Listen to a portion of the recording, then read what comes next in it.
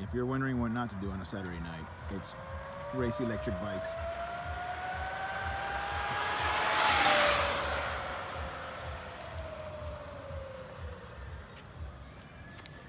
Uh-oh, something happened.